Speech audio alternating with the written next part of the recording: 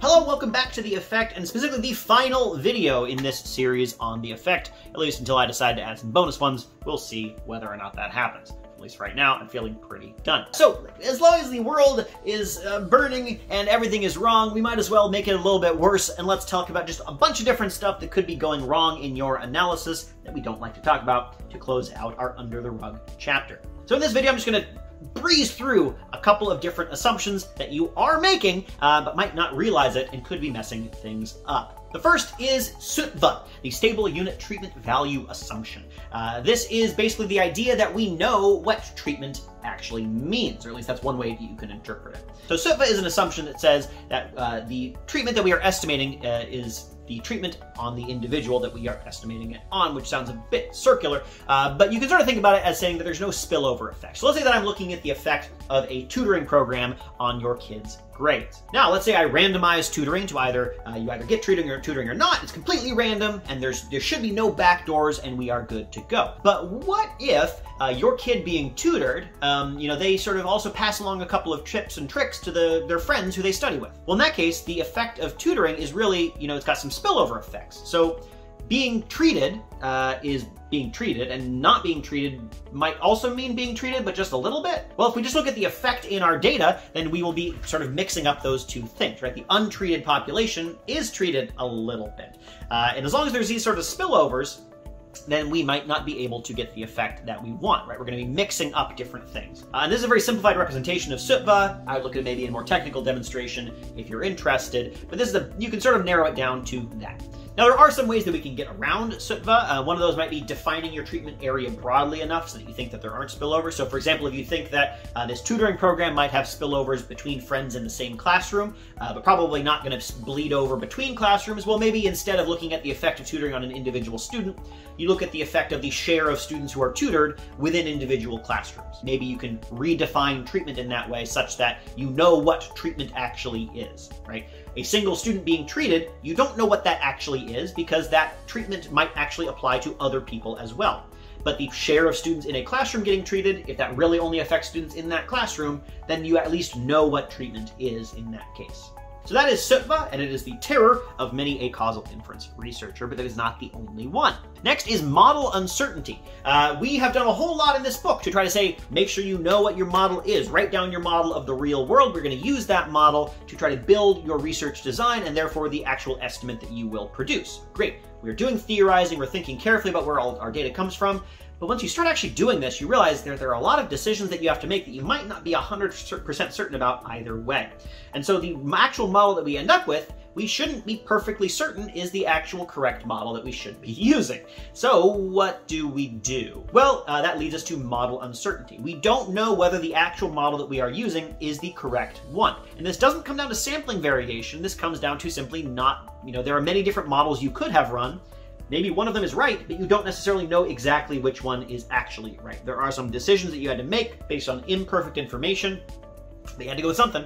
Now, when you have this case, and we often are uncertain about our model, there are some things that you can do. You could just try a bunch of different models. For example, in the simplest version of model uncertainty, we're just not certain exactly which control variables we need to include. And that's an easy problem to fix. Just try running all the control variables. Try a model with this control variable, without this control variable. Try it with this one, without that one, with this one. Try all the different combinations. You know, if you got 10 different control variables, that's only what, 2 to the power 10 different models? Maybe you can prune it down a little bit to make it simpler, but you can run, you know, a few hundred different models and average things together. Now that is an easy approach to take if the model uncertainty that you have is about which control variables to include. And in that case, you get nice little things called specification diagrams where you can see the distribution of the effect that you estimate across all these different control choices, and you can get a better idea of what your actual estimate might look like if you had known what the correct set of parameters were. Now, there are other forms of model uncertainty that are not quite as easy to fix. Things like, is this variable a collider or not that's going to mess things up? Things like, uh, hey, am I leaving something out entirely? Is there a control that needs to be in here that I didn't even think about that is not in my data?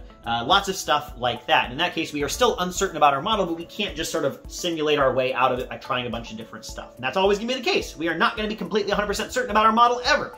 Uh, and that is going to plague our dreams. Next up are non-existent moments and power laws. Now, a lot of the methods, almost all the methods that we've been using in this uh, in this book, are about estimating means, almost entirely. Even when it doesn't seem like they're estimating means, that's still sort of what they are doing, or at least moments. They're estimating moments. And what a moment is in statistics, a mean is an example of a moment, so is the variance, the skewness. Uh, it is a, a statistic based on the distribution of your variable that has to do with a sort of central tendency uh, with the raised to a certain power.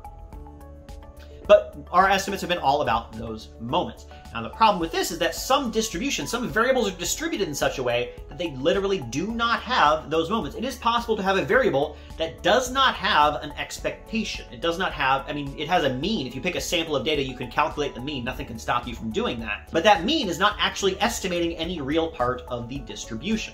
Now, when that happens, when you have a distribution that does not have a, a uh, first moment, a mean, really, in, in its theoretical distribution, then when you get a sample, the mean is going to jump around sharply from sample to sample, right? Typically, what we'd expect is that the mean is going to be normally distributed over different samples. And so it's going to be pretty, pretty well behaved. We're probably going to get pretty close to the actual mean, maybe in different samples, it'll be a bit above, a bit below.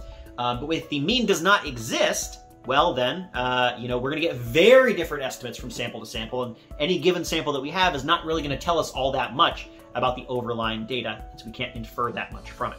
The way in which this comes up most often is in the case of fat-tailed distributions. If you have a variable uh, that has a fat tail, uh, then often it will not have a mean. It will not have a first moment. What do I mean by a fat tail? Uh, a fat tail is any distribution where a lot of the data is concentrated in one area, but there's also a but there's also a bunch of really really big outliers, right?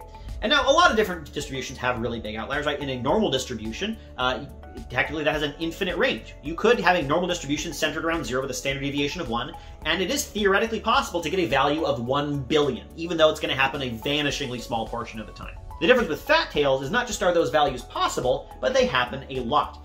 These are the common values, but these very, very big outliers, they happen pretty regularly. A great example of this is something like income.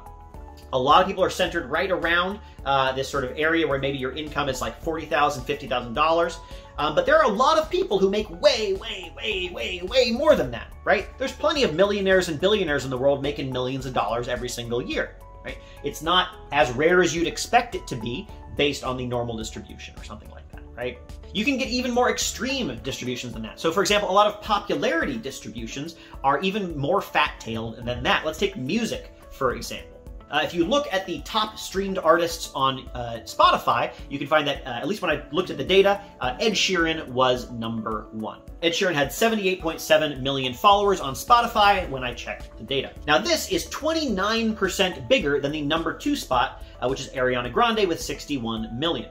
That is a big drop from first place to second place, a 29% drop. Uh, the 20th most followed person on Spotify is Alan Walker, who has 27.9 million. That means that the number one spot is 281% as large as the 20th spot. We lost more than half of our followers going from first place to 20th place.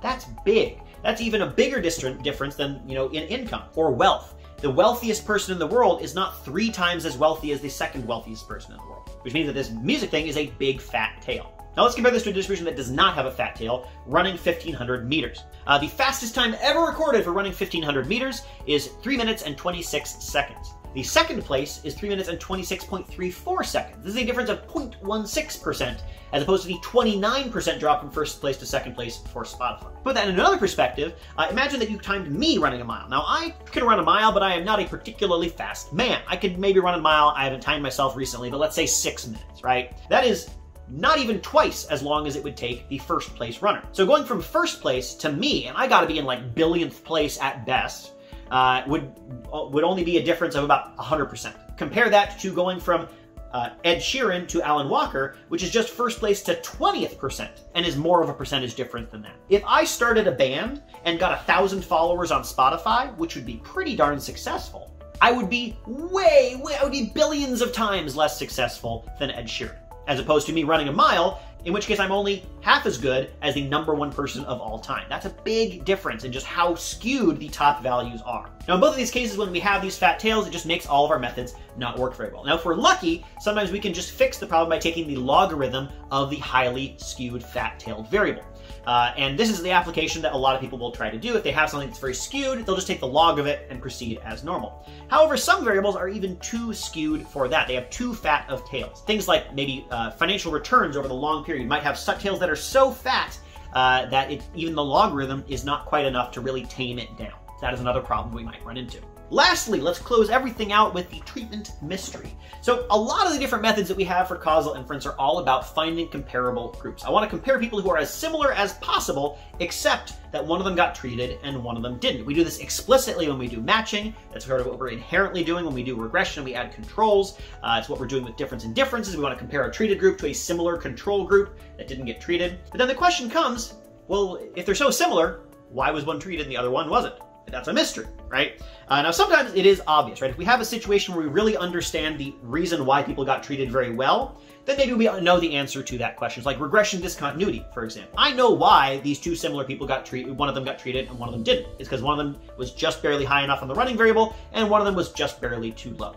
I can answer the treatment mystery in that case. But if I'm doing something like trying to use control variables uh, or something like that, or controlling away unobserved variation, like fixed effects or difference in differences, I have to ask myself, if I really do think that these two groups are so similar, why did one get treated and the other didn't? A great example of this is in twin studies. One common backdoor variable that we have in a lot of different social science problems is genetics, right? Your genetics is going to influence a lot of things about you uh, that we might consider treatments, and also a lot of things about you that we might consider outcomes. let's say that we're interested in the effect of education on earnings, and we're like, well, you know, your genetics might make you do better in school. They also might make you earn more later in life. One way that people adjust for this is by using twins. If you get a set of twins and you find you find a set of twins, one of whom got more education than the other, then you can say, hey, their genetics are the same, so whatever difference I see is probably because of the education. Then you have to wonder, wait a minute, if I think that they're so similar and comparable, why did one of them get more education than the other, right? Maybe they're not so comparable. Maybe they have the same genetics, but something really different happened to one of them